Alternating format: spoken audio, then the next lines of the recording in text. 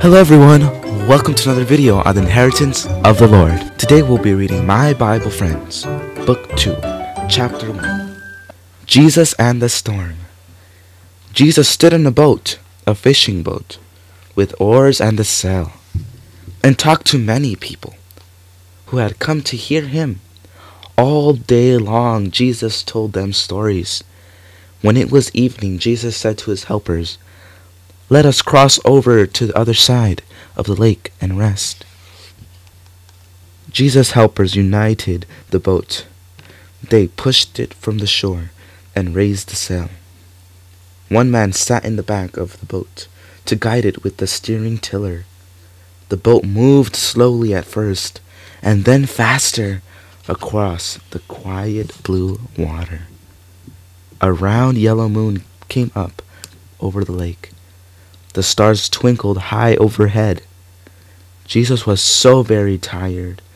He lay down with his head on a pillow and was soon sound asleep. The men at the back steered carefully. The boat sailed on and on and on.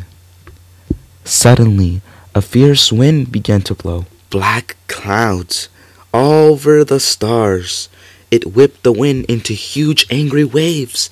The waves tossed the boat this way and that way, up and down. There was lightning, there was thunder. The man at the tiller tried to steer the boat, but he couldn't.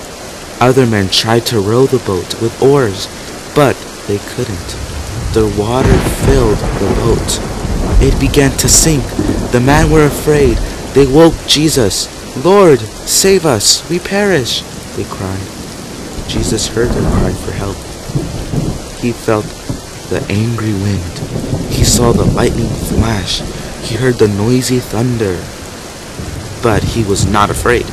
He stood up and said to the wind and waves, Be still, be still. The wind stopped blowing. The waves were still. The clouds went away and the stars twinkled again. The boat sailed on the sparkling path that the moon made on the water, and crossed to the other side of the lake. Why were you afraid? Jesus asked his helpers. Why were you afraid when I was with you? Jesus says to boys and girls today, Don't be afraid when the lightning flashes, and the thunder crashes, and the strong winds blow I am with you always, says Jesus, in the dark and in the storm. I will never leave you.